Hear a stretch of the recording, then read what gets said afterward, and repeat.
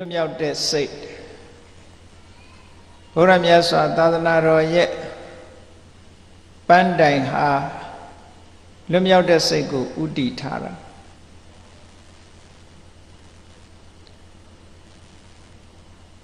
ဝိမု ക്ത စိတ်တာလွတ်မြောက်လွတ်မြောက်တဲ့စိတ်ရှိတဲ့ပုဂ္ဂိုလ်ဟာဘုရားမြတ်စွာရဲ့သာသနာတော်မှာအဆင့်မြင့်ဆုံးယဟန္တာလို့ခေါ်ရတဲ့ပုဂ္ဂိုလ်မျိုးတွေပဲ အဲ့ဒီပုဂ္ဂိုလ်မှဝိမု ക്ത စိတ်တလွတ်မြောက်တဲ့စိတ်ရှိသူအဲ့တော့လွတ်မြောက်တဲ့စိတ်ရှိဖို့အတွက်ဘုန်းကြီးတို့တွေကျင့်ကြံကြုတ်ကိုအထုတ်နေကြရတယ်လို့ဒီလိုမှတ်ပါလူတိုင်းလူတိုင်းကလွတ်လပ်မှုကိုမျက်နှိုးကြတယ်တို့တယ်လွတ်မြောက်တယ်တို့လွတ်လပ်တယ်တို့ဆိုတဲ့စကားလုံးဟာ နေရာတကာအရာထဲမှာလည်းအနှံ့အပြားပြောကြတယ်တချို့ပုဂ္ဂိုလ်တွေပြောကြတယ်တို့ကတော့လွတ်လွတ်လပ်လပ်ပဲသာသမီတန်ရောစဉ်လည်းမရှိဘူးအလုတ်ကင်လည်းအေးဆေးဆေးပဲဘာမှပူစရာမရှိဘူးလို့သူကလည်းလွတ်လပ်တယ်လို့ကြွေးကြော်တာပဲလွတ်မြောက်တယ်လို့ကြွေးကြော်တာပဲဟုတ်ကလားအချုံနောင်ခံရလို့လွတ်မြောက်လာတဲ့ပုဂ္ဂိုလ်ကလည်း तू လွတ်မြောက်လာတယ်လို့ပြောတာပဲမပြောဘူးလားပြောပါတယ် ရုပ်ခန္ဓာကိုယ်နဲ့ပတ်သက်ပြီးတော့လွတ်မြောက်မှုတွေကိုရည်ညွှန်းပြီးတချို့ကလည်းပြောကြတယ်ဒီနေရာမှာလွတ်မြောက်တဲ့စိတ်ဆိုတဲ့နေရာမှာအလွန်ကိုအဆင့်မြင့်တဲ့လွတ်မြောက်တဲ့စိတ်မျိုးဖြစ်အယက်ကပြောတဲ့လွတ်မြောက်တဲ့စိတ်နဲ့ဘုရားမြတ်စွာဟောလို့တဲ့လွတ်မြောက်တဲ့စိတ်ဟာအဆင့်တန်းချင်းမြောင်များစွာကွာနေတယ် အယက်ကလွတ်မြောက်တယ်ဆိုတဲ့စိတ်လွတ်လပ်တယ်ဆိုတဲ့စိတ်ဟာဘုရားမြတ်စွာရဲ့စံနဲ့နှုံးနဲ့တတ်မှတ်ပြီးတော့ကြည့်မယ်ဆိုရင်လွတ်လပ်တဲ့စိတ်ကိုခေါ်နေတာလွတ်လပ်တဲ့စိတ်မဟုတ်ဘူးလူတွေပြောပြောကြတယ်မို့လားတို့ကတော့စိတ်လွတ်ကိုလွတ်လွတ်လွတ်လပ်လပ်ဖဲနဲ့ပြောကြတယ်တကယ်တော့သူကအနှောင်ဖွဲ့တွေနဲ့ကြည့်ပဲလွတ်လပ်တာမဟုတ်ဘူးเนาะ အဲ့တော့ကိုယ်စိတ်လေးဟာအနှောင်ဖွဲ့တွင်မှရှိသလားအနှောင်ဖွဲ့တွေကလွတ်မြောက်နေသလားဆိုတာဘုရားမြတ်စွာရဲ့တရားဓမ္မကိုနာပြီးဒီတရားဓမ္မရဲ့စံနှုံးနဲ့ကြိုက်ကြည့်မှတကယ်လွတ်လပ်မှုဟုတ်မဟုတ်ဆိုတာကိုသိရှိနားလည်နိုင်တယ်အရက်ပြောသူပြောငါပြောပြောနေတဲ့လွတ်လပ်မှုတွေသူပြောငါပြောပြောနေတဲ့လွတ်မြောက်မှုတွေဆိုတာအပေါ်ယံက လွတ်မြောက်မှုလေးတွေကြီးပဲတဲ့တကယ်လွတ်မြောက်မှုဆိုတာမရှိပါဘူးတဲ့အဲ့ဒီလွတ်မြောက်မှုစိတ်ရဲ့လွတ်မြောက်မှုသို့မဟုတ်လွတ်မြောက်တဲ့စိတ်ကိုပါဠိဘာသာမှာစေတောဝိမု ക്ത လို့ဒီလိုခေါ်တယ်စေတောဝိမု ക്ത ကိုဘာသာအမျိုးမျိုးပြန်ကြတော့လည်းပဲစေတောဆိုတာစိတ်စိတ်ဆိုတာဒီနေရာမှာတမာရီကိုရည်ညွှန်းတာလည်းရှိတယ်ပေါ့ တမာရီဖြင့်စိတ်ရဲ့ကိလေသာတွေသို့မဟုတ်စိတ်ရဲ့အနှောင်ခွဲတွေကလွတ်သွားတာကိုစေတောဝိမု ക്ത ဝိမု ക്ത ဆိုတာလွတ်မြောက်တာဘာနှောင်ခွဲမှမရှိ အနှောင်အယှက်လုံးဝမရှိအငြိအကျေးလုံးဝမရှိအဲ့ဒါလို့လုံးဝကင်းစင်တဲ့လုံးဝလွတ်မြောက်မှုရှိတဲ့စိတ်မျိုးသာလင်စေတဝိမု ക്ത လို့ဒီလိုပြောလို့ရတယ်နောက်ဆုံးအမြင့်ဆုံးပြောမယ်ဆိုရင်အရတ္တဖို့စိတ်ကလေးဟာစေတဝိမု ക്ത ပဲ လွတ်မြောက်တဲ့စိတ်ကလေးပဲကြံတဲ့စိတ်တွေဟာလွတ်မြောက်မှုဆိုတာတရင်ကအားဖြင့်လွတ်မြောက်ခြင်းလွတ်မြောက်နေမယ်လွတ်မြောက်တဲ့စိတ်လို့အပြည့်အဝမခေါ်နိုင်သေးဘူးလို့ဒီလိုပြောရမှာအဲ့တော့တရားချင်းခင်သူတော်စင်ပြိဿတ်တို့အနေနဲ့ဒုတွေဟာလွတ်မြောက်တဲ့စိတ်နဲ့နီးပြီလားတို့ရဲ့စိတ်တွေဟာလွတ်မြောက်မှုရှိရလားမရှိသေးဘူးဆိုလို့ရှိရင်တို့ဘာတွေလုံးဝမလဲဆိုတာသိရမှာပေါ့နော် အဲ့ဒါလို့သိမှကိုယ်စိတ်လေးကလွတ်မြောက်တယ်မလွတ်မြောက်ဖို့သိတာအများစုကထင်နေကြတာတယောက်တည်းနေရင်လွတ်လပ်တယ်လို့ဒီလိုထင်တယ်အနှောင်ဖွဲတွေနဲ့နေတာတယောက်တည်းနေတယ်အနှောင်ဖွဲတွေကအနှောင်ဖွဲမမသိအောင်နှောင်ဖွဲ့ထားတယ်ချောပြောတယ်အေးသာသမီတွေကြီးကုန်ပြီသာသမီတန်ရောစင်လည်းမရှိတော့ဘူးဟောတန်ရောစင်မရှိဘူးလို့ထင်နေတယ်တန်ရောခြင်းတ န်ရောစင်ကျိုး10မျိုးဆိုတာအောက်ဆွဲတဲ့အောက်ကျိုးကခြေတော့မှခြီးပြီးတော့အောက်ဆွဲချတဲ့တန်ရောစဉ်ကျိုးက၅မျိုးလက်ဘင်းကနေခြီးပြီးတော့အထက်ဆွဲတင်တဲ့တန်ရောစဉ်ကျိုးက၅မျိုးအလုံးတန်ရောစဉ်ကျိုး10မျိုးလို့အဲ့ဒီတန်ရောစဉ်ကျိုးတွေနဲ့ချီနှောင်ထားသေးသမျှလွတ်မြောက်တဲ့စိတ်ဘယ်တော့မှမဖြစ်နိုင်ဘူး အဲ့ဒါကိုပါဠိစာပေလို့ပြောမယ်ဆိုလို့ရှိရင်ခြေတော့ကခြီးပြီးအောက်ဆွဲချတဲ့ကျိုးမျိုးဒါတင်စားပြီးတော့ပြောတာပေါ့နော်တင်စားပြီးတော့ပြောတာလူတယောက်ကိုခြိကြည့်လိုက်ခြေတော့မှာကျိုးငါးချောင်းခေါင်းမှာကျိုးငါးချောင်းခြေတော့ကကျိုးကအောက်ဆွဲတယ်လက်ဘင်းမှာခြိထားတဲ့ကျိုးငါးချောင်းကအပေါ်ဆွဲတယ်အောက်ကျိုးလွတ်သွားရင်အထက်ကျိုးရှိသေးတယ် ဟောလွတ်မြောက်အောင်ကြိုးစားဖို့အတွက်အဲ့ဒီအောက်ကျိုးကိုဘာခေါ်တော့ဆိုရင်ဩရံဘာဂိယတန်ယောဇနာတဲ့ဩရံဘာဂိယဆိုတာကာမဘုံနယ်အတွင်းမှာချီနှောင်ထားတတ်တဲ့တန်ယောဇဉ်ကျိုးတဲ့အဲ့ဒါဘာတော့ဆိုလို့ရှိရင်ကာမစ္ဆန္ဒကံကုံခံစားခြင်းနဲ့အတွေးတွေစိတ်ဆန္ဒတွေလောဘတွေ ကာမဂုဏ်ခံစားရတယ်ဆိုတော့ဘာပြောတာမျက်စိကလှတာလေးကြည့်ပြီးပျော်ရွှင်မှုကိုလိုလားတယ်နားကตายရတဲ့အတန်လေးကိုနားထောင်ပြီးတော့ပျော်ရွှင်မှုကိုလိုလားနေတာနှာခေါင်းကမွေးကြိုင်တဲ့အနံ့ကလေးနဲ့ตายရမှုကိုလိုလားတာလျှာကအရသာရှိတာလေးစားပြီးတော့ตายရမှုကိုလိုလားတာခန္ဓာကိုယ်ကကောင်းတဲ့အထီးတွေ့လေးထိတွေ့ပြီးตายရမှုကိုလိုလားနေတာ တခါမြင်ပြီးရင်နောက်ထပ်မြင်ခြင်းနဲ့တခါကြားပြီးရင်နောက်ထပ်ကြားခြင်းနဲ့အဲ့ဒီမြင်ခြင်းကြားခြင်းနမ်းရှူခြင်းလျက်ခြင်းထိတွေ့ခြင်းနဲ့ဆိုတဲ့ဒီဆန္ဒတွေကိုကာမိဆန္ဒလို့ခေါ်တယ်အဲ့ဒီကာမိဆန္ဒဟာအောက်ကိုဆွဲချတာဖြစ်သောကြောင့်ကာမဘုံထဲမှာတင်ချီနှောင်ထားတာဖြစ်သောကြောင့်ဩရံဘဂိယတန်ရောစဉ်ကျိုးတစ်ချောင်းတဲ့ဘု န်းကြီးတို့တရားချင်းခင်သူရစဉ်ပြိဿတို့ကို့မှာဟောဒီကျိုးရှိမရှိကြည့်ဖို့လို့အရာထဲမှာပြောတာသားတန်ရောစဉ်သမီးတန်ရောစဉ်လို့ပြောတယ်ဟုတ်ကဲ့လားသားတန်ရောစဉ်သမီးတန်ရောစဉ်ပစ္စည်းတန်ရောစဉ်ဟောတကယ်တန်ရောစဉ်အစ်စ်ကသားကလည်းတန်ရောစဉ်မဟုတ်ဘူးသမီးကလည်းတန်ရောစဉ်မဟုတ်ဘူးပစ္စည်းကလည်းတန်ရောစဉ်မဟုတ်ဘူး တကယ်တန်ရောစဉ်အစစ်ကဟောဒီကာမစ္ဆန္ဒဆို sensual pleasure desire for sensual pleasure လို့ခေါ်တဲ့ကာမဂုဏ်အာယုန်တွေနဲ့ပျော်ပါလို့တဲ့စိတ်နဲ့စိတ်ဆန္ဒလောဘတွေရတာတကယ်တန်ရောစဉ်တဲ့ဖြတ်ရမှာကဒါတချို့ကထင်တယ်သားတန်ရောစဉ်သမီးတန်ရောစဉ်တွေဖြတ်လိုက်တယ်သားသမီးတွေမခေါ်မပြောအဝေးပို့ပလိုက်တယ်ဟောဒါတန်ရောစဉ်ကင်းနေထင်းနေတယ်ဘယ်ဟုတ်နော် သာသမီကိုဖြတ်ရမှာမဟုတ်ဖြတ်ရမှာပါတော့တွေ့တာမှုတဏှာကိုဖြတ်ရမှာတဲ့တလွဲသွားဖြတ်ရင်ဒုက္ခရောက်လိုက်ပြီပစ္စည်းဥစ္စာတန်ရောစဉ်ဖြတ်တယ်ဆိုတာပစ္စည်းတွေအကုန်လှူပစ်ခိုင်းတာမဟုတ်ဘူးပစ္စည်းဥစ္စာပေါ်မှာတွေ့တာနေတဲ့တန်ရောစဉ်ကိုဖြတ်ခိုင်းတာပစ္စည်းရဆိုတာရှိရမှာပေါ့လူဘဝမှာစောင်းနေမပြည့်စုံလို့ရှိရင်ဘယ်လိုလုပ်လို့ရ ဘဝတစ်ခုယက်တည်ဖို့ရအတွက်ပစ္စည်းဆိုတာရှိရသို့တော့အဲ့ဒီပစ္စည်းပေါ်မှာတတွဲတာတာဖြစ်နေတဲ့တန်ရောစဉ်တဏှာအတွေ့အတာကိုသာဖြတ်ရမှာပစ္စည်းကိုဖြတ်ရမှာမဟုတ်ဘူးတဲ့အဲ့တော့ကာမိသန္တာဆိုတာတန်ရောစဉ်ကျိုးတစ်ချောင်းပဲအဲ့ဒီကျိုးတစ်ချောင်းနဲ့ချီနှောင်ခြင်းခံထားရတဲ့စိတ်ကလေးဟာဘယ်လိုလုပ်ပြီးလွတ်မြောက်တဲ့စိတ်ဖြစ်နိုင်မလဲဖြစ်နိုင်နော် နောက်တစ်ခုကဘာလို့ဆိုဗျာပါဒတန်ရောဆိုဗျာပါဒ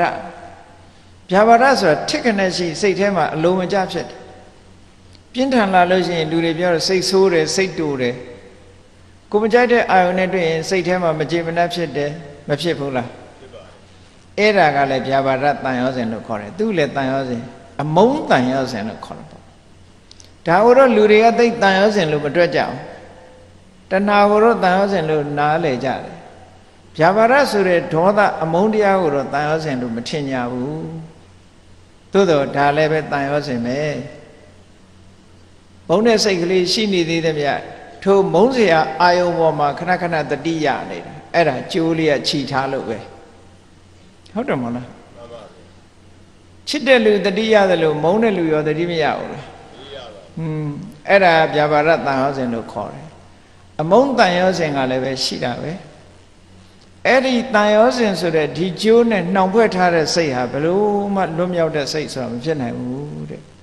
ဩလွတ်မြောက်တဲ့စိတ်ကိုသဘောကျဖို့ရအတွက်ဒီလိုကြည့်ရ။ဩ sensual pleasure desire for sensual pleasure ဆိုတဲ့ကာမိဆန္ဒကျိုးတစ်ချောင်းဖြုတ်ပလိုက်။ကာမိဆန္ဒပြုတ်သွားလို့ရှိရင်ဗျာပါဒဆိုတဲ့အလိုမကျတာလည်းပြုတ်သွားပြီ။ဒီကျိုးတွေပြုတ်ဖို့ဆိုတာသောတာပန်တော်မပြုတ်သေးဘူး။ တက္ကရာကံလည်းမပြုတ်ဘူးဘုသူကြမှာပြုတ်အနာကံကြမှာပြုတ်တယ်ဒီကျိုးတစ်ချောင်းအသောတပန်အနေနဲ့ဖြုတ်နိုင်တဲ့ကျိုးက၃ချောင်းဘာလဲဆိုရင်တက္ကာယဒိဋ္ဌိဝိသိကိစ္စသီလပဒပရမတပါဠိလိုတက္ကာယဒိဋ္ဌိဆိုတာခန္ဓာ၅ပါးယုံနံတရားကြီးကို အထင်မှားပြီးတော့အသက်တို့ဇီဝိတတို့အတ္တတို့ ထာဝရမြဲနေတဲ့အရာတို့တဘွားကသိရင်တဘွားကူးသွားတာတို့အဲ့လိုအတွေးမျိုးတွေနဲ့ခန္ဓာ၅ပါးရုပ်ဝေဒနာသင်ညာသင်္ခါရဝိညာဉ်လို့ဆိုတဲ့ခန္ဓာ၅ပါးတဲ့ကတစ်ခုခုအပေါ်မှာအမြင်မှားနေတာကိုတက္ကာယဒိဋ္ဌိလို့ခေါ်တယ်တက္ကာယဆိုတာတကယ်ထင်ရှားရှိတဲ့ခန္ဓာ၅ပါးကိုပြောတာဒိဋ္ဌိဆိုတာအဲ့ဒီပေါ်မှာမှားယွင်းတဲ့အယူဆတရပေါ်လာတာ ခန္ဓာ၅ပါးနဲ့ပတ်သက်ပြီးတော့မှားယွင်းတဲ့အယူဆတရပေါ်နေတာကိုတက္ကာဒိဋ္ဌိဒါလည်းတန်ရောက်စင်ပဲဘာဖြစ်လို့ तू ကလည်းစိတ်ကိုချီနှောင်ထားတတ်တယ်မှားယွင်းတဲ့အမြင်တစ်ခုကလည်းစိတ်ကိုချီနှောင်ထားလိုက်တန်ရောက်စင်အဲ့ဒီနှောင်ကြိုးရှိနေတဲ့ပုဂ္ဂိုလ်တိုင်းပုဂ္ဂိုလ်တိုင်းဟာလွတ်မြောက်တဲ့စိတ်ဆိုတာမရှိနိုင်ဘူးဝိသိကိစ္စ ဖရာတရားတန်ခါနဲ့ပတ်သက်ပြီးတန်တရားဖြစ်တယ်ကိုကျင့်နေတဲ့ကျင့်စဉ်နဲ့ပတ်သက်ပြီးတန်တရားဖြစ်တယ်အမြင်မရှင်းဘူးဟောဝိသိကိစ္စခုနလိုအမြင်မှားနေတဲ့ပုဂ္ဂိုလ်တယောက်ဟာတန်တရားရှိနေမှာပဲအမှန်မမြင်သေးသမျှတန်တရားဆိုတာလာနေမှာပဲအဲ့တော့တက္ကရာဒိဋ္ဌိဆိုတာကင်းသွားမယ်ဆိုလို့ရှိရင်တော့ဝိသိကိစ္စဆိုတာလည်းပဲကင်းသွားနိုင်တယ် တက္ကရာဒိဋ္ဌိဝိသိကိစ္စနောက်တစ်ခုကသီလပတ္တပရမတ္တသီလဝတ္တဝါကိုဘာပြောင်းထားတာသီလပတ္တပရမတ္တသီလဆိုတာအလေးအထတစ်ခုဝတ္တဆိုတာလိုက်နာကျင့်သုံးနေတဲ့အချက်သီလဆိုတာအလေးအထအပြုအမူအလေးအထလူတိုင်းလူတိုင်းမှာအလေးအထလေးတွေရှိတယ် ဥပမာဆိုတော့တရိษံတွေမှာလည်းသူ့ရဲ့အလေးအထလေးရှိဆိုပါစို့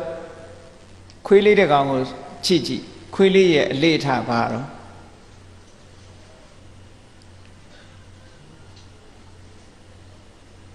အိတ်တော့မယ်ဆိုလို့ရှိရင်ခြားခြားလဲပြီးတော့မှကွေးကွေးလေးအိတ်တတ်တယ်ဒါသူ့ရဲ့အလေးထားအစာစားတဲ့အခါမှာလည်းပဲပါးစပ်နဲ့ပဲစားတယ်လက်နဲ့စားတာမဟုတ် လက်နဲ့ယူစားတဲ့ဟာအလေးထားဒါသူ့ရဲ့အလေးထားဒီပြင်တရိษံတွေလည်းဒီလိုပဲအလေးထားလေးတွေရှိတယ်အဲ့ဒါကိုတီလလို့ပြောတာဒီနေရာမှာနော်ဝတ္တဆိုတာတစုံတစ်ခုစောင့်တည်ထားတာအမှန်ပဲငါတတ်တတ်လို့စားမယ်တစုံတစ်ခု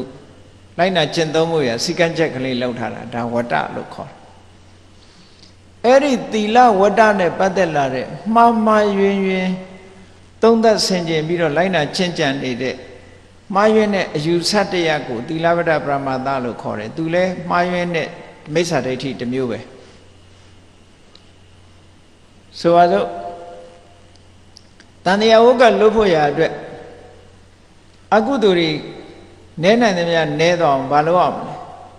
ခွေးလို့နေခွေးလို့စားခွေးလို့ကျင့်ခွေးအကျင့်ကိုစောင့်တည်ထား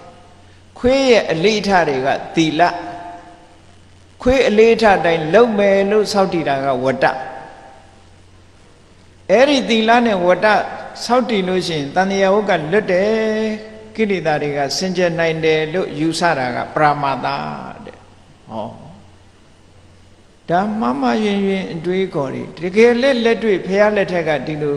ခွေးချင်းကျင့်နေတာတို့နွားချင်းကျင့်တာတို့ဥဒေါင်းလိုကျင့်တာတို့မြောက်လိုကျင့်တာတို့အစုံနဲ့ပဲတရိစ္ဆာန်တွေရဲ့အကျင့်ကိုလိုက်ကျင့်တယ် ရည်ရွယ်ချက်ကတော့ကောင်းတယ်မြတ်စွာဘုရားကအဲ့ဒီအကျင့်တွေနဲ့ပတ်သက်လာရင်သီလပဒပရမာသသူ့ရဲ့ရည်မှန်းချက်မရဘူးတဲ့ခွေးလို့ခြင်းဘာဖြစ်တုံဆိုတခါတော့ကကုက္ကုရဝတိကတုံမှာဆိုမြတ်စွာဘုရားဟောတာအေးခွေးလို့ခြင်းခွေးဖြစ်ဖို့ပဲရှိတယ်ဘာဖြစ်လို့တော့ဆိုတစ်ချိန်လုံးခွေးစိတ်မွေးပြီးခွေးလို့နေတာခွေးဘဝနဲ့မနှီးပေဘူးလား နှီးတယ်နွားလို့ခြင်းနွားဖြစ်ဖို့ပဲရှိတယ်ဘာလို့တော့စိတ်ကိုကနွားနဲ့နွားစိတ်မွေးနေတာကိုလူစိတ်မွေးမှလူဖြစ်တော့မှာပေါ့နွားစိတ်မွေးနွားပဲဖြစ်မှာပေါ့ဟုတ်တယ်မလားအဲ့ဒီအကျင့်မှားတွေကိုသီလဝဒပရမသလို့ခေါ်တယ်သို့တော့အင်္ဂလိပ်လိုဘာသာပြန်တဲ့အခါသီလဝဒပရမသကိုပေါ့ပေါ့လေးပြန်ထားတယ် right a rituals ဒီဘာသာပြန်ကတော့မမှန်ဘူးပေါ့ right rituals ဆိုတာ အခမ်းအနားတွေပွဲလန်းတဲ့ပင်တွေ ceremonial တွေဘာသာရေးနဲ့ပတ်သက်တဲ့အခမ်းအနားတွေ right a ritual ဒါတွေကိုသီလဝဒပရမသလို့ပြန်တယ်မှားတယ်ဆိုလိုတာကခွေးအကျင့်နွားအကျင့်တွေပေါ်မှာ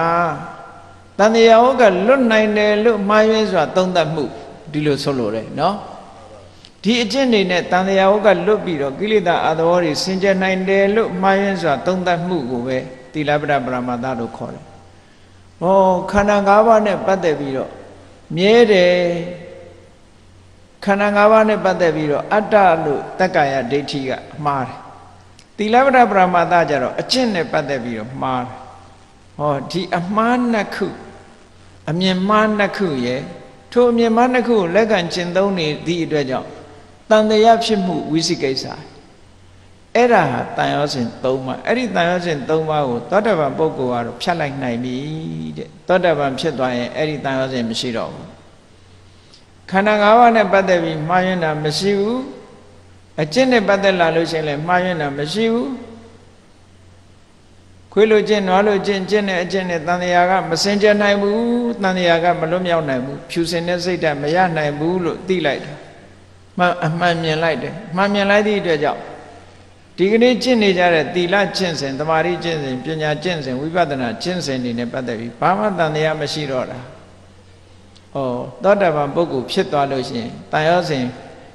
ကျိုး၅ချောင်းတွေကအောက်ခြေထောက်မှာခြိထားတဲ့တန်ရောစဉ်ကျိုး၅ချောင်းတွေက၃ချောင်းပြုတ်သွား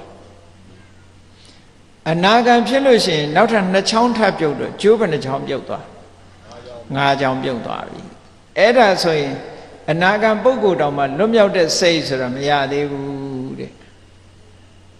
အထက်မှာခြိထားတဲ့ဥဒ္ဓံပါကိယတန်ရောစဉ်၅မျိုးကျမ်းနေသေးတယ်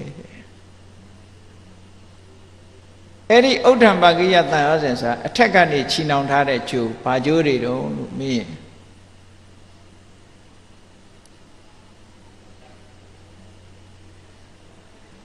ရူပရာဂပြမဖုံ သို့မဟုတ်ရူပဆံပေါ်မှာတတ်မဲ့နေကာမဂုဏ်အာယုန်တွေကိုတော့စွန့်လွတ်နိုင်တယ်ထိုကာမဂုဏ်အာယုန်တွေကစွန့်လွတ်လို့ရလာတဲ့ချမ်းသာလေးကြတော့မဲ့နေသေးချာဟုတ်ကဲ့ဒါကိုဇန်ချမ်းသာလို့ခေါ်တယ်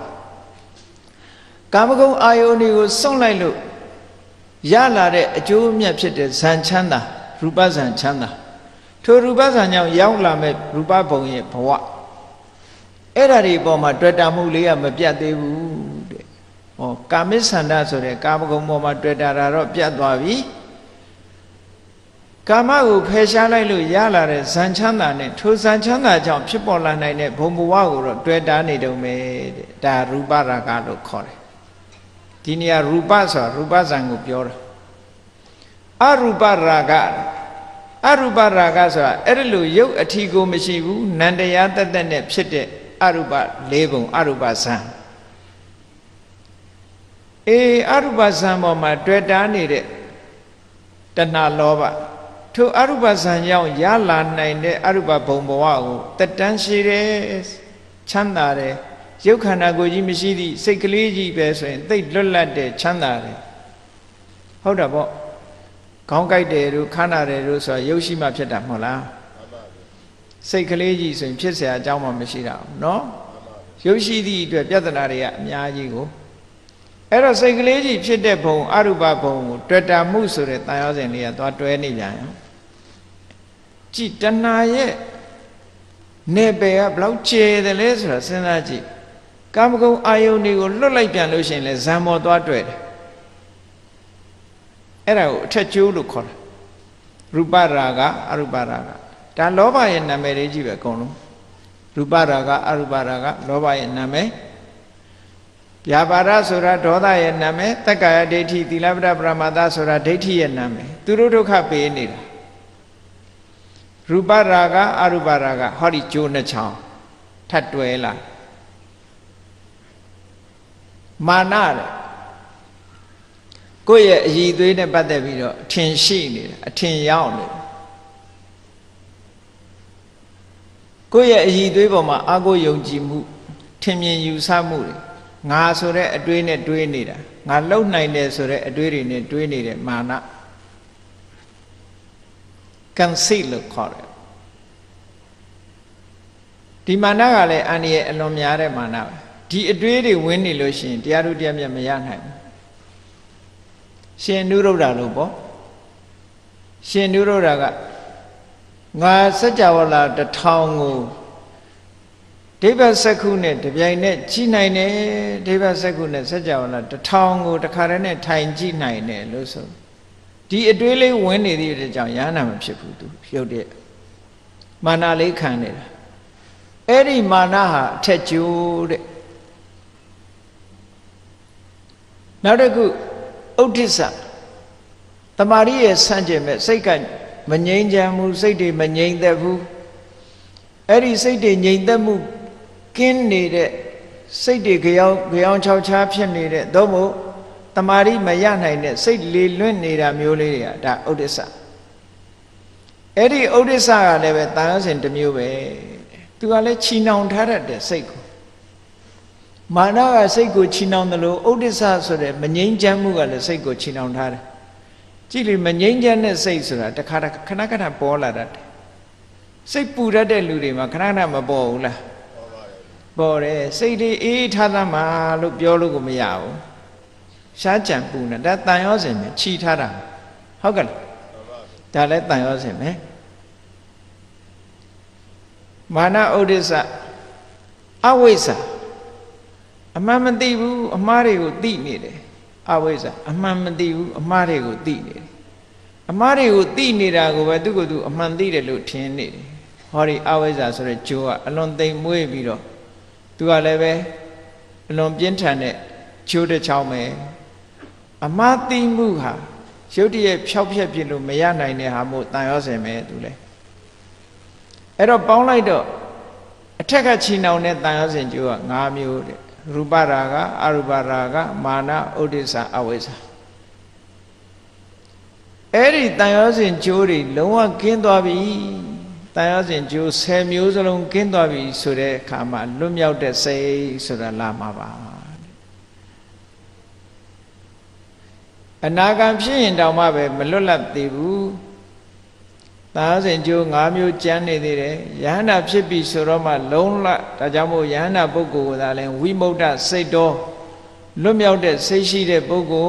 လ်လို့ဒီလိုခေါ်ရတယ်ကဲဘုန်းကြီးတို့တွေလွတ်မြောက်ခြင်းနဲ့လွတ်မြောက်တဲ့စိတ်ကလေးကိုရခြင်းနဲ့တကယ်ဗုဒ္ဓဟောပြတဲ့လွတ်မြောက်တဲ့စိတ်မျိုးလေးကိုရခြင်းနဲ့မလုပ်ကြမလဲလွတ်မြောက်တဲ့စိတ်ဟာဗုဒ္ဓ တရားတော်သို့မဟုတ်ဗုဒ္ဓဘာသာကျင့်စဉ်ရဲ့ပန်းတိုင်ဆိုတာအလုံးသိကြပြီတို့တွေဘာလုပ်နေတာတုံးလို့မေးရင်စိတ်တက်ကလေးလွတ်မြောက်ဖို့လုပ်နေတယ်လွတ်မြောက်တဲ့စိတ်ရဖို့လုပ်နေကြတယ်ဒါဖြင့်လွတ်မြောက်တဲ့စိတ်ဆိုတဲ့ဟာရအောင်လုံနီးရှိသလားရှိတယ်လုံနီးများစွာထဲမှာလွတ်မြောက်တဲ့စိတ်ရဖို့ လွတ်မြောက်တဲ့စိတ်ဆိုတာချက်ချင်းကြီးဒီကနေ့ဖြစ်ဒီကနေ့ဖြစ်သွားတာမဟုတ်ဘူးဒီကနေ့ရင့်ကျက်သွားတာမဟုတ်ဘူးတဖြည်းဖြည်းနဲ့ရင့်ကျက်လာအကြောင်းတရားတွေနဲ့တည်တည်များလို့ပဲတည်တည်များအနုလေးကနေပြီးတော့တဖြည်းဖြည်းရင့်လာရတယ်အဲ့ဒါလိုပဲလွတ်မြောက်တဲ့စိတ်ဟာလည်းပဲအနုစားလေးကနေတဖြည်းဖြည်းရင့်လာအဲ့ဒီရှိထားတဲ့လွတ်မြောက်တဲ့စိတ်အခြေခံလေးတဖြည်းဖြည်းရင့်လာအောင်မလုပ်မလဲ ဘာတွေရေးကြည့်တယ်လဲအကျိုးတရားကိုလိုလားလို့ရှိရင်အကြောင်းတရားကိုထိဆောက်ရမယ်ဆိုတာဒါဗုဒ္ဓရဲ့ practice ပဲလမ်းညွှန်ချက်ကအကျိုးလိုချင်ရင်ဘာလုပ်ရမလဲအကြောင်းကိုတိဆောက်ရမယ်ဟုတ်ကဲ့လားအကျိုးလိုချင်အကျိုးကိုတိုက်ရယူလို့မရဘူးအကြောင်းကိုလုပ်ရတယ်ဒါဟုတ်တယ်ပေါ့အကျိုးကိုတိုက်ရယူလို့ပဲရ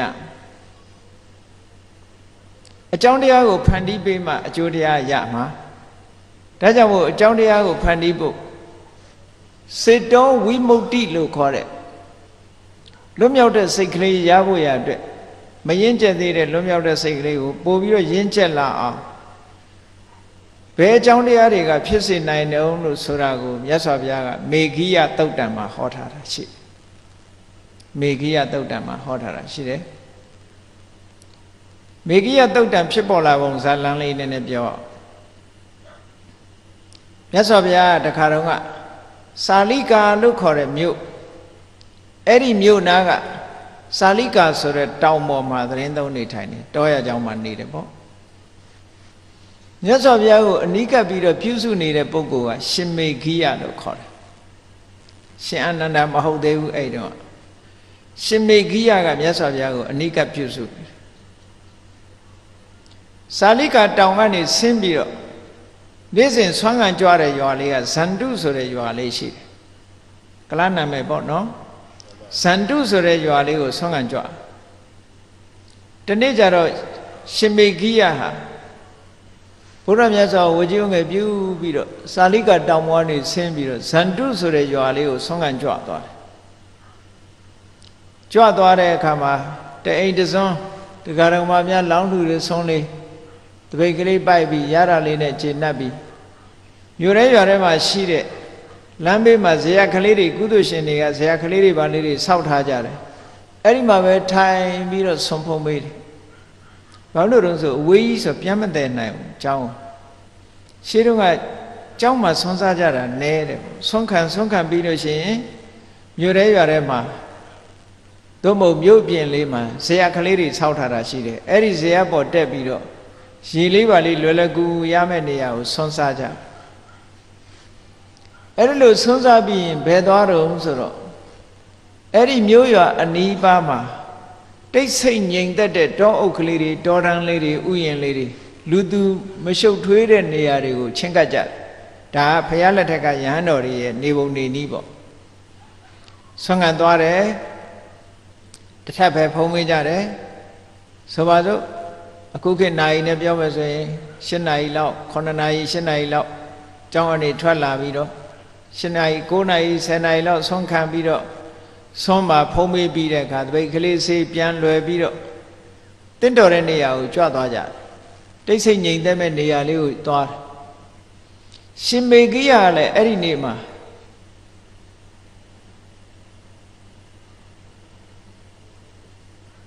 ကာလခင်းကဆိုတဲ့မြစ်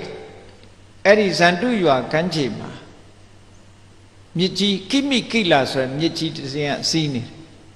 ကိမိကိလာလို့ခေါ်တဲ့မြစ်ကြီးအဲ့ဒီကိမိကိလာဆိုတဲ့မြစ်ဘေးမှာလူတွေစိုက်ပျိုးထားကြတဲ့တရဲ့ဥယျာဉ်ကြီးတစ်ခုရှိတယ်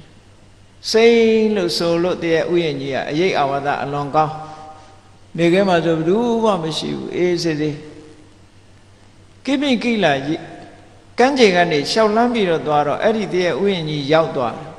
တရဲ့ဥယျာဉ်ကြီးတဲ့ဝင်လိုက်တာနဲ့သူ့စိတ်လေးကကြည်နူးသွားဟာဒီနေရာဖြင့်တရားအထုတ်ရရင်သိကောင်းမှာပဲမြတ်စွာဘုရားကခွင့်ပြုမယ်ဆိုရင်ငါဒီနေရာပြန်လာပြီးတော့တရားထုတ်မယ်အဲ့ဒီလိုစိတ်ကူးနဲ့ကြောင်းပြန်သွားတယ်စာလိကတောင်ပြန်သွားလိုက်ပြန်သွားပြီးတော့ဘုရားစီဝင်ဝင်ပြီးရှင်ဘုရားတဲ့ တပည့်တော်ဆွမ်းခံသွားဆွမ်းခံဆွမ်းစားပြီးအပြန်မှာကိမိကိလမြေကမ်းကြီးကတရဥယျာဉ်ကြီးတစ်ခုတွေ့တယ်ဗျာတိတ်ตาရတာပဲတိတ်ဆိတ်တယ်ငြိမ်သက်တယ်အဲ့ဒီမှာတပည့်တော်တရားထုတ်ခြင်းတဲ့စိတ်တွေပေါက်တယ်အဲ့ဒီမှာသွားတပည့်တော်တရားထုတ်ခြင်းတယ်မြတ်စွာဘုရားကဘသူကဘာလုပ်ခြင်းတယ်ဆိုလို့ရှိရင်အကြောင်းအကျိုးတွေကိုဆင်ញင်ကြည့်လိမ့်ရှိတယ်အမြဲတမ်းသူစိတ်ကူးရင်လာတာဟာတမ္မာမဟုတ်ဘူး အဲ့ဒီရှုပ်ဝက်ချက်ကလေးရှိနေတယ်ဒါလောကမှာလူတိုင်းလူတိုင်းကိုယ့်အကိုယ်လည်းရှုပ်ဝက်ချက်ကလေးတွေရှိနေပဲကိုမေ့နေတဲ့ဇာလန်းကလေးတွေရှိကြတယ်ပေါ့ဒါဒီဘဝကဇာလန်းမဟုတ်ဘူးအတိတ်ကဇာလန်းနေကြုံမှုကြပါလိမ့်မယ်ဘုန်းကြီးတို့လည်းတတိထားတဲ့အခါမှာတချို့နေရာရောက်သွားလို့ရှိရင်စိတ်ထဲမှာကြည်နူးတဲ့နေရာရှိတယ်လို့စိတ်ထဲမှာပျော်နေရာရှိတယ်လို့မတယ်လို့မပျော်တဲ့နေရာလည်းရှိတတ်တယ်စိတ်ရဲ့ခံစားချက်နော်ထူးဆန်းတယ်သိလို့မဟုတ်ဘူး အဲမေဂိယယဟန်တော်ကလည်းအဲ့ဒီဥယျာဉ်နဲ့ဝင်လိုက်တာနဲ့တပြိုင်နက်သူစိတ်ထဲမှာသိကြည်နူးသွားမြတ်စွာဘုရားကသူ့ရဲ့အတိတ်ဇာလန်းတွေကိုပြန်ကြည့်လိုက်တော့ဒီရှင်မေဂိယဟာတခုသောဘဝမှာ तू ကဘယင်ဖြစ်ပြီးတော့အဲ့ဒီဥယျာဉ်ထဲမှာ तू ကနေခဲ့ဘူးတော့ဒါကြောင့်မို့စိတ်ထဲမှာကြည်နူးတာဒါတွေကိုတော့ तू မမေ့မေ့နေပြီ तू မသိဘူး အတိတ်ရဲ့ပုံရိပ်တွေကသူ့စိတ်ထဲမှာပေါ်လာပြီမဲ့လို့ तू မသိဘူးမမှတ်မိတော့မြတ်စွာဘုရားကဒါကိုသိတယ်သိတော့မြတ်စွာဘုရားကမသွားစေခြင်းဘူးသွားရင် तू တရားရမှာမဟုတ်ဘူးအဲ့ဒီနေရာ तू လည်းမတော်ဘူးဆိုတာသိတယ်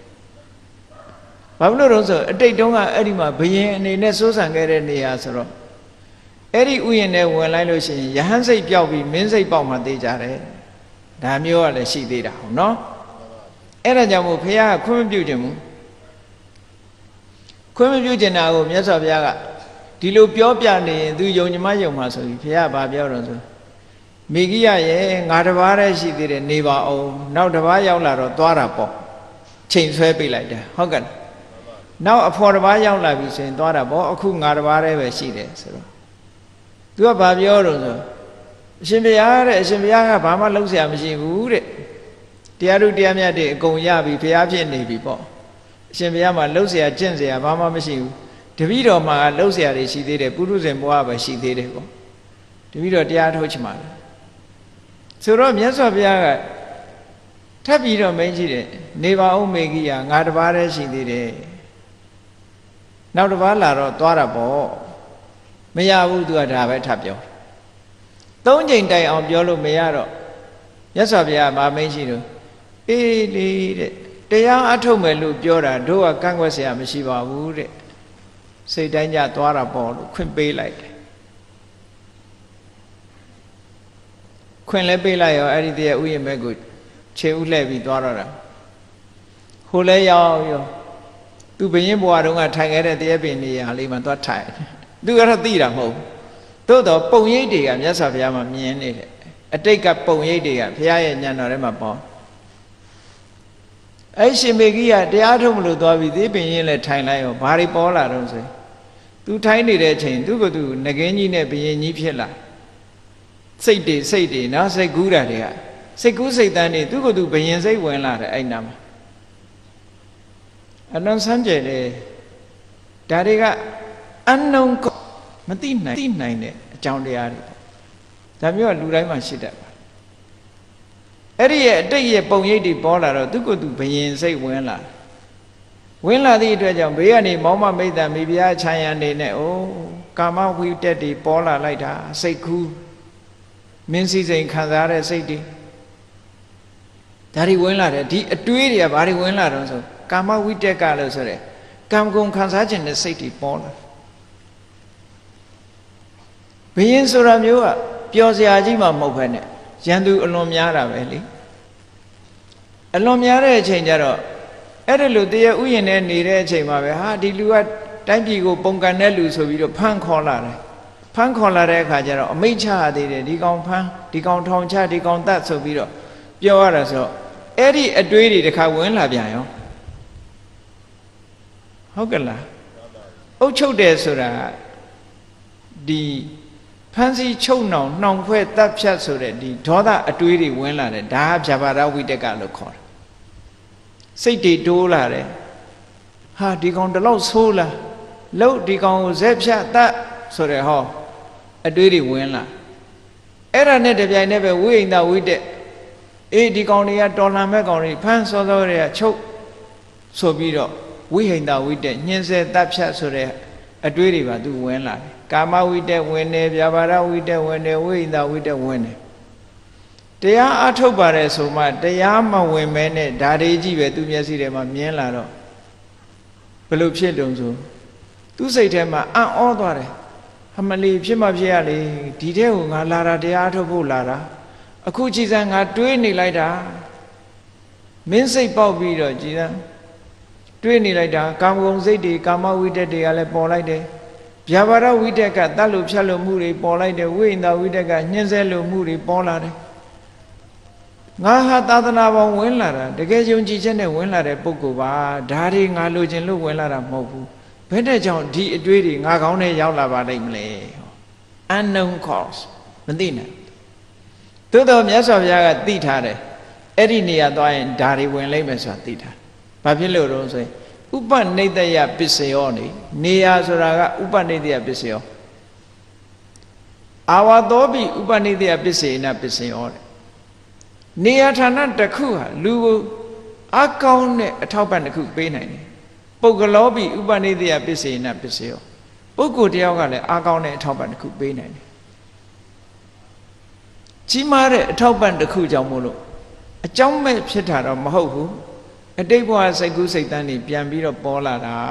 တဲ့အဲ့ဒီအတွေးတွေနှိမ့်ဆက်တာနဲ့ဘာတရားမှမရဘူးစိတ်ပြက်လက်ပြက်နဲ့အဲ့ဒီကနေထွက်လာခဲ့ထွက်လာခဲ့မြတ်စွာဘုရားစီရောက်လျှောက်တယ်အရှင်ဘုရားတပည့်တော်တရားထုံလို့သွားတယ်ဗျာတဲ့အတွေးတွေနှိမ့်ဆက်ပြီးတော့တပည့်တော်ပြန်လာခဲ့ရတယ်ဘာတရားမှမရခဲ့ဘူး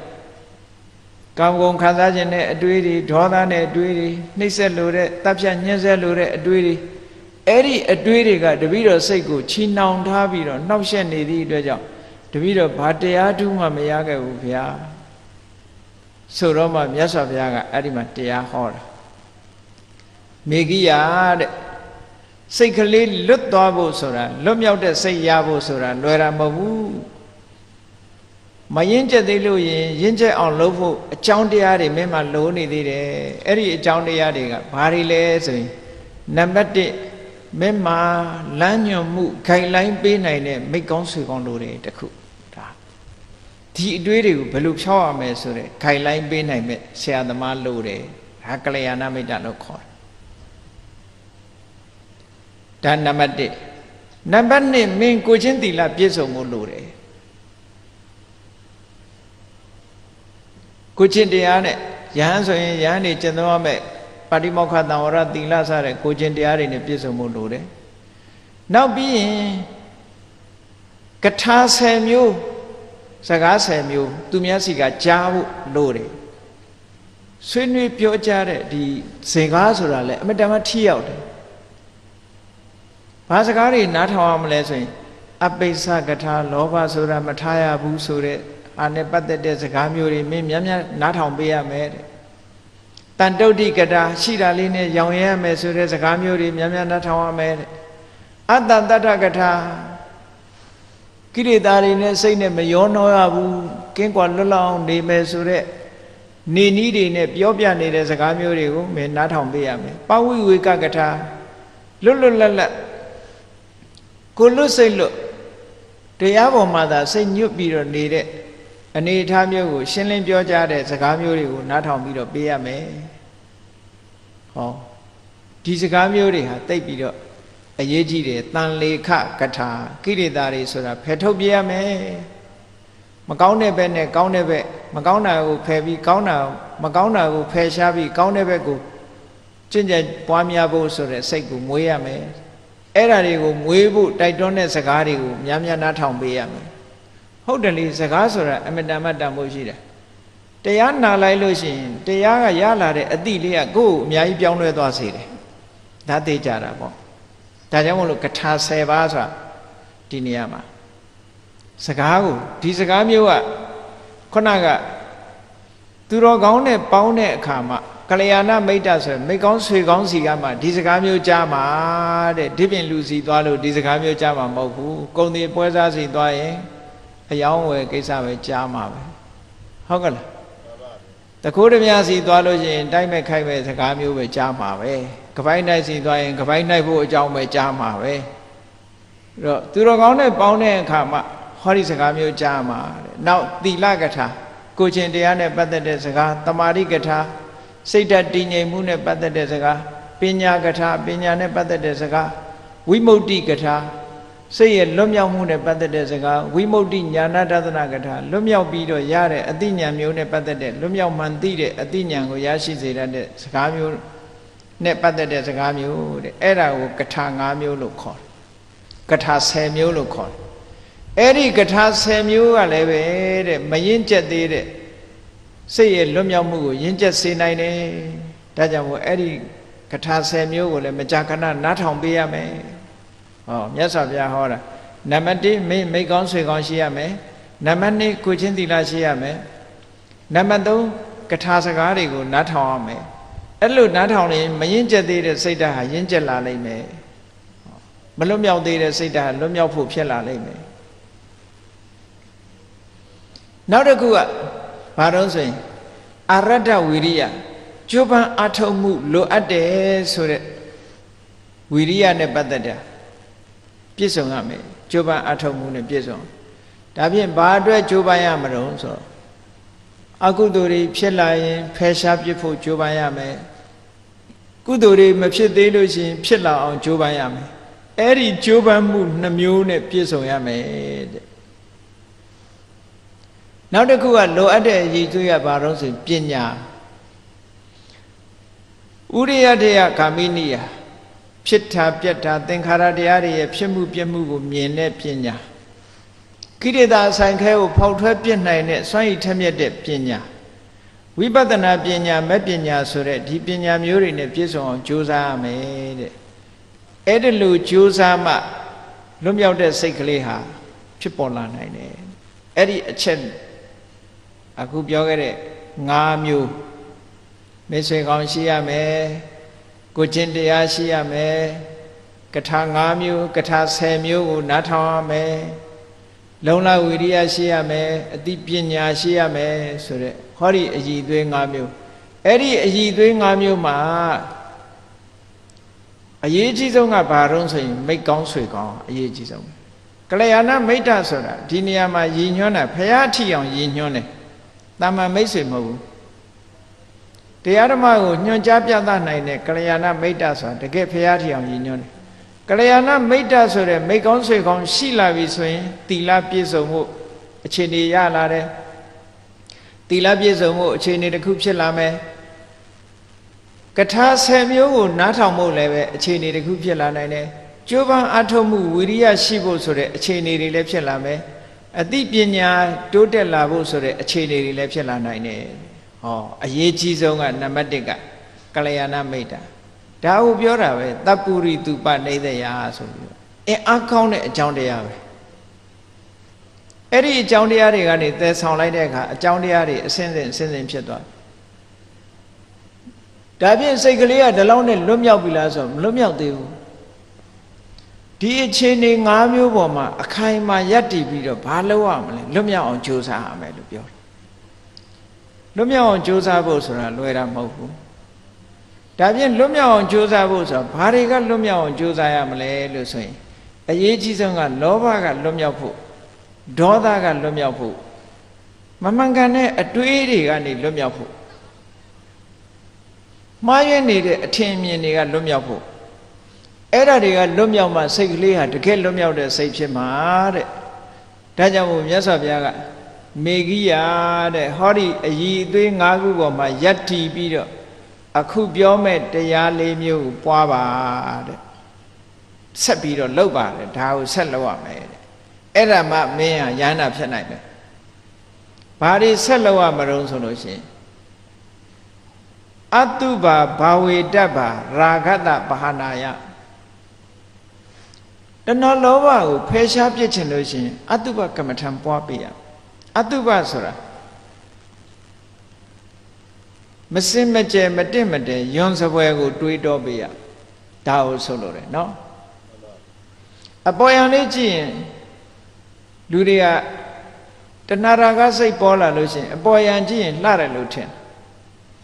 အဲ့ဒါလို့လှတယ်လို့ထင်လို့လောဘဖြစ်လာလို့ရှိရင်အတွင်းသားကိုကြည့်ခန္ဓာကိုယ်ကြီးရဲ့သဘာဝမစင်ကြယ်တာတွေကိုကြည့် တုတ်တန်တစ်ခုမှဟောထားတယ်ခန္ဓာကိုယ်ကြီးအတွင်းပြင်များလဲထားလိုက်မယ်ဆိုရင်ဒုတ်နဲ့ကြီးတွေမောင်းနေရမှာတဲ့အပေါ်ယံအရေးပါးလေးဖုံးထားလို့ဟုတ်တယ်လို့ထင်နေတယ်အဲ့ဒီအရေးပါးလေးပေါ်မှာတော့လှတဲ့ဟိုကလေးတွေနဲ့ဆင်ထားသည့်အတွက်ကြောင့်မျက်စိလဲနေကြတာဟုတ်ကဲ့လားမျက်စိလဲနေဟုတ်တော့ဗောမနေ့အိယာထားတာနဲ့တပြိုင်နက်ခန္ဓာကိုယ်ရဲ့အညစ်အကြေးသုတ်တင်ရတာနံပါတ်1ပဲလေ မွေးကြိုင်နေလို့ရှိရင်စုထားကြမှာဗောမမွေးကြိုင်လို့စွန့်ပစ်နေကြရတာပဲခန္ဓာကိုယ်ရဲ့ထွက်တာတင့်တယ်တာတို့မွေးကြိုင်တာတို့တခုမှမရှိဘူးအကုန်ပြစ်နေရတာအဲ့တော့အဲ့ဓာတွေကိုစဉ်းစားတွေးခေါ်လိုက်လို့ရှိရင်လောဘဆိုတာဖြစ်လာစရာရာဂဆိုတာဖြစ်လာစရာအကြောင်းမရှိဘူးတဲ့ဒါကြောင့်မို့ခုနကအခြေအနေ၅မျိုးပေါ်မှာယက်တီပြီးတဲ့အခါမှာတဲ့ တဏှာရာဂကိုအားနည်းသွားအောင်သို့မဟုတ်တဏှာရာဂတွေဖယ်ရှားပစ်ဖို့အတွက်အတုပကိုအာထုတ်ပါလို့ပြောတာဒါပြောတာမတင့်တယ်တဲ့သဘောတွေကိုဆင်ញင်ပေးပါဆင်ញင်တာဓမ္မ practice ပဲသွားပြီးတော့တင်မြင်ကြီးခွေပြီးတော့လက်ကြီးရှက်ထိုင်နေမှာမဟုတ်ဘူးနော်ဘယ်လိုထိုင်ထိုင်မတင့်မတဲ့ယွန်းစဝဲအခြေအနေတွေကေတာလောမနခဒတာတဆောဆာမင်းမွေးညင်းခြေသေးလည်းသေးသွားအရေး တခုစီတခုစီတခုစီခန္ဓာကိုယ်32ခုတာကြည့်တခုမှသိမ့်ထားစရာမရှိဘူးကိုယ်စပင်ပဲစပင်ပေါ်နေတဲ့အခါကျတော့ဟုတ်တုတ်တုတ်ရှိတယ်နော်လှအောင်ပြင်ကြတယ်ဆေးဆိုးကြတယ်အဲ့ဒီသပင်ညီလေးတစ်စီထမင်းနဲ့သွားကြလို့ရှိရင်ယွန်ညတယ်လူများလည်းအံ့ဩစရာတော့ကောင်းတယ်ဒီသပင်မှာပဲခေါင်းပေါ်နေရင်တော့လည်းအကောင်းသားနေရာရွေ့သွားတာနဲ့တပြိုင်တည်းမလို့ချင်ကြတော့ ကိုယ့်ရဲ့ပါဇက်ထဲမှာတတွေးတွေရှိတယ်အပြင်မထွက်သေးသမျှအကောင်းပဲမျိုးချနေကြတာအပြင်ထွက်တာနဲ့တပြိုင်တည်းဘာဖြစ်မလီယွန်းတာအဲ့ဒါလိုပဲအားလုံးဟာအပြင်မထွက်သေးရင်အကောင်းပဲအပြင်ထွက်လိုက်တာနဲ့တပြိုင်တည်းယွန်းစရာဒါကိုဆင်ញင်တွေးတောတာကိုအတုပလို့ပြောတာနော်အေးဗမာမှာအတုပဆိုလို့ရှိရင်တော့ဟောဖြူနရယ်သွားပြီးတော့အောင်းမေ့နေတယ် အဲ့တော့အတုပကိုဆင်ញင်စဉ်းစားခြင်းဖြင့်ခန္ဓာကိုယ်ပေါ်မှာတွေ့တာတတ်မဲ့တတ်တဲ့တဏှာလောဘကိုဖယ်ရှားပြစ်နိုင်ပါတယ်တဲ့အဲ့ဒါဖယ်ရှားပြစ်နိုင်မှလောဘကလွတ်သွားမှလွတ်မှလွတ်မြောက်တဲ့စိတ်ဆိုတာရမှာအနုဘဆိုရင်တွဲနေအောင်ပါပဲမလွတ်မြောက်နိုင်ဘူးတဲ့နောက်တစ်ခုကပါတော့ဒီဒီနေရာမြတ်စွာဘုရားညွှန်ပြတာကမ္မထမ်းလေးတွေပေးထားတာအတုပါဘာဝေတ္တပါရာဂတပဟာနာယ ရာဂတပါဟနာယရာဂကိုဖယ်ရှားပြစ်ဖို့ရအတွက်အတုပဘာဝေတ္တပါအတုပကမ္မထံကိုပွားပါတဲ့ဟုတ်လားအတုပမတက်မတက်ယွန်းစပွဲဆိုတဲ့အနေထားတွေမြင်အောင်စိတ်ထဲမှာဖြစ်ပေါ်လာအောင်တိုးပွားလာအောင်ကြိုးစားကြင်ကြံကြိုးကိုအထုတ်ပါလို့ဒီလိုပြောတာဘာဝဘာဝေတ္တပါဆိုတာမဖြစ်သေးရင်စိတ်ထဲဖြစ်လာအောင်လုပ်တာဒါဘာဝနာလို့ခေါ်တယ် ဖြစ်လာပြီးတဲ့နောက်တိုးလာအောင်အရှင်ရလာအောင်ကြိုးစားတာဒါဘာဝနာဘာဝနာဆိုတာဖြစ်စီတိုးပွားစီဒီနှစ်ခုပြောတယ်ကဲအတုပပွားသည့်အတွက်ကြောင့်ရာဂဆိုတာကိုဖယ်ရှားလိုက်နိုင်သည့်အတွက်ကြောင့်ရာဂကတော့လွတ်မြောက်ပါပြီတဲ့စိတ်ထဲမှာအလိုမကြတာမျိုးတွေပေါ်လာတယ်ဗျာပါဒကတစားထောင်လာလိုက်ဘာလို့အောင်မေတ္တာဘာဝေတ္တပါဗျာပါဒတပါဟနာယ ဗျာပါရတပါဏာယဒေါသကိုဖယ်ရှားပြစ်ဖို့ရအတွက်မေတ္တာဘာဝေတ္တပါမေတ္တာပွားလိုက်ပါတဲ့ကမ္မထံပေးနေတာအတုဝကမ္မထံအထုတ်တဲ့လောဘကလွတ်ဖို့အတွက်ဒေါသကလွတ်ဖို့အတွက်မေတ္တာကမ္မထံအထုတ်လိုက်တဲ့မေတ္တာစိတ်တွေမြန်မြန်မွေးတဲ့ကမ္မထံအထုတ်တယ်ဆိုတာကိုယ်စိတ်ထဲမှာမေတ္တာတွေအချိန်ကြီးဖြစ်အောင်လုပ်တာကိုပြောတ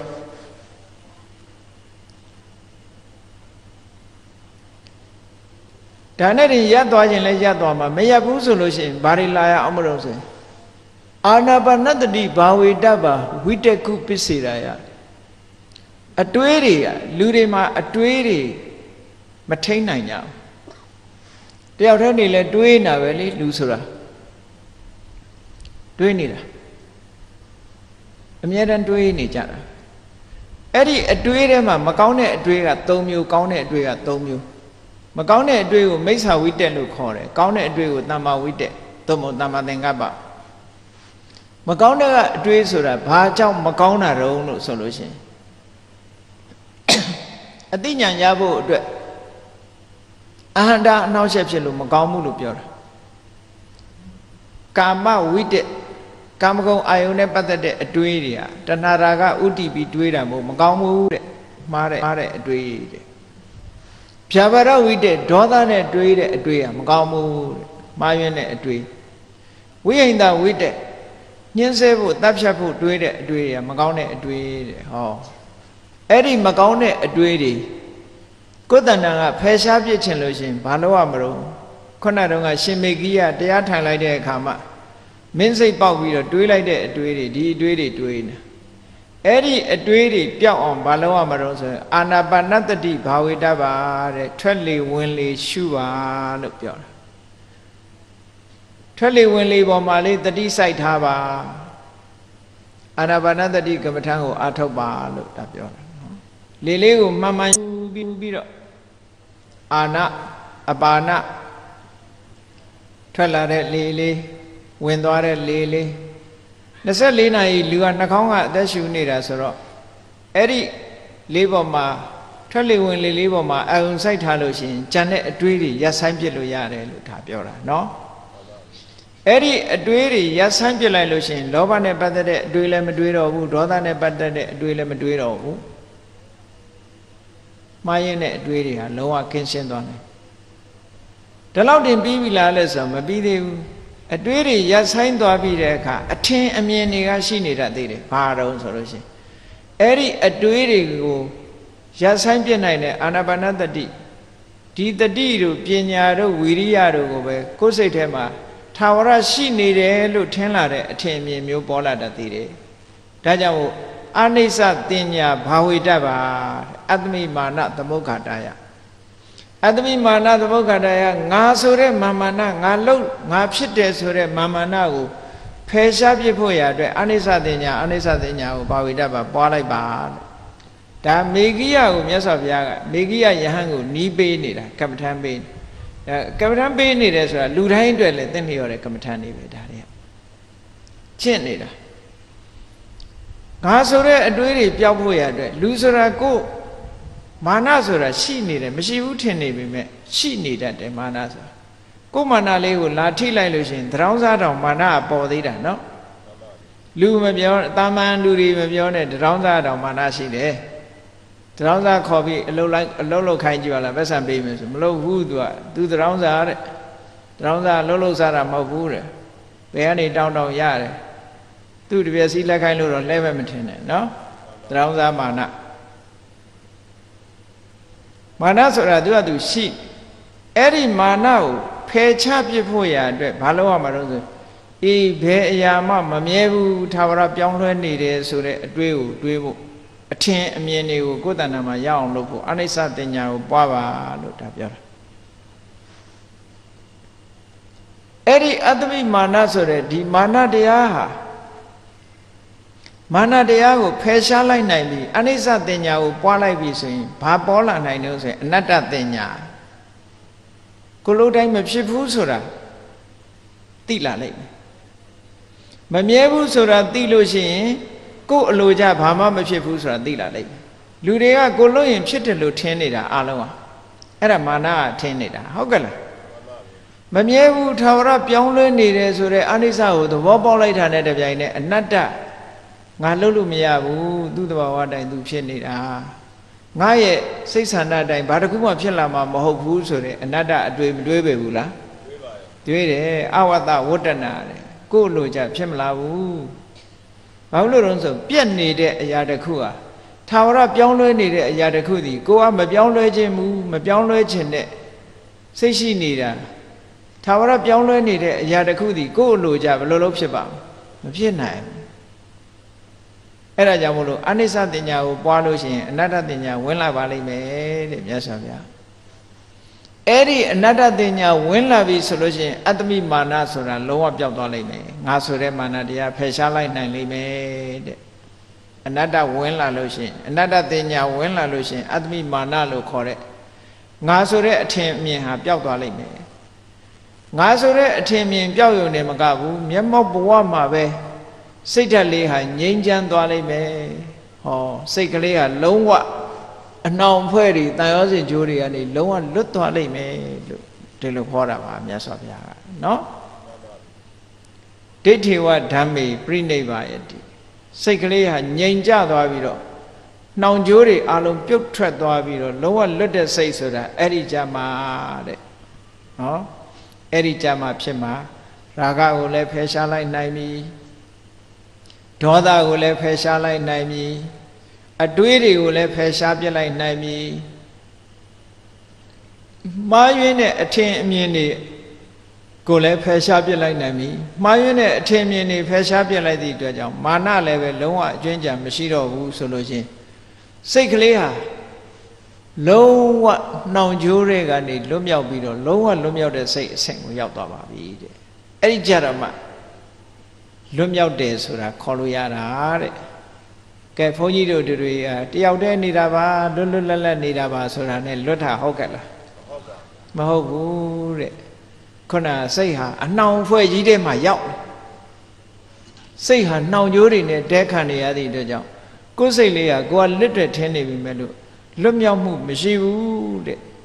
အဲ့ဒါကြောင့်မို့မြတ်စွာဘုရားသခင်ကိုရမြတ်ကမေဂိယကို ဟောဒီတရား၅မျိုးပေါ်မှာအခြေစိုက်ပြီးတော့အခုပြောတဲ့အတုပကိုပွားပါမေတ္တာကိုပွားပါရာဂပယ်ဖို့အတုပကိုပွားပါဖြာပါရဆိုတဲ့ဒေါသပယ်ဖို့မေတ္တာကိုပွားပါအတွေးတွေဖြတ်ဖို့ရာအတွက်အာနာပါနသတိကိုပွားပါ မာနကိုဖယ်ရှားဖို့အတွက်အနိစ္စတင်ညာကိုပွားပါအနိစ္စတင်ညာပွားလိုက်ရင်အနတ္တတင်ညာဆိုတာဝင်လာပါလိမ့်မယ်အနတ္တတင်ညာဝင်လာလို့ရှိရင်ငါဆိုတဲ့မာမနာကျသွားပါလိမ့်မယ်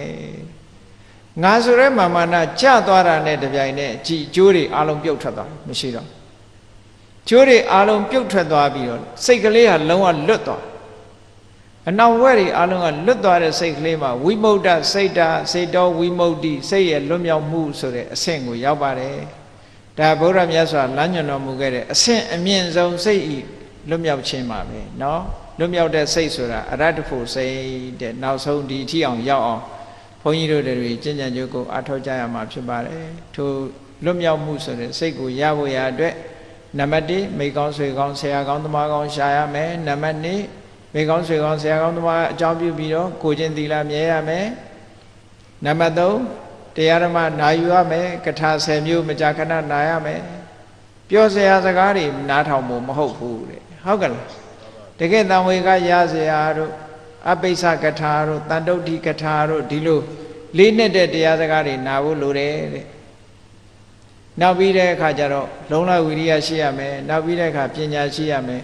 အဲ့ဒီအခြေအနေကောင်းတွေ၅မျိုးပေါ်ရှိလာပြီဆိုတဲ့အခါကျတော့စိတ်ကလေးလွတ်အောင်မလုပ်ရလောဘကလွတ်ဖို့အတွက်အတုပကိုပွားပါတဲ့ဒေါသကလွတ်ဖို့အတွက်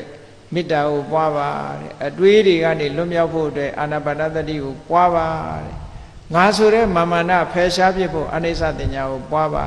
အနိစ္စတင်ညာပွားလိုက်ရင်အနတ္တဝင်လာမှာဖြစ်တယ်အနတ္တတင်ညာဝင်လာလို့ရှိရင်ငါဆိုတဲ့မာနခင်းသွားလိမ့်မယ်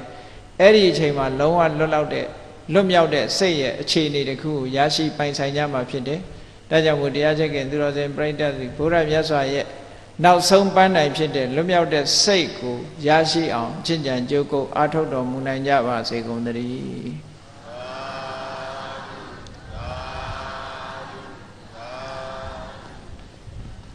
ကဲမေတ္တာပို့ရအောင်တတ္တဝါများစွာဘေးရန်ကွာ ချမ်းသာကြပါစေတတ္တဝါများစွာဘေးရန်ကွာချမ်းသာကြပါစေမေတ္တာရေချမ်းသွန်ငါဖြံငြိမ်းချမ်းကြပါစေမေတ္တာရေချမ်းသွန်ငါဖြံ ငြိမ်းချမ်းကြပါစေသက်ရှိကျမ်းမာစိတ်ချမ်းသာလိုရာဆန္ဒပြည့်ပါစေသက်ရှိကျမ်းမာစိတ်ချမ်းသာလိုရာဆန္ဒပြည့်ပါစေဓမ္မောတရံပိဝိတဝါနဝိသာတဗ္ဗေတမုဟတာ အဇရမရတိတိဘာဝနိဗ္ဗာနံယန္တုတာရော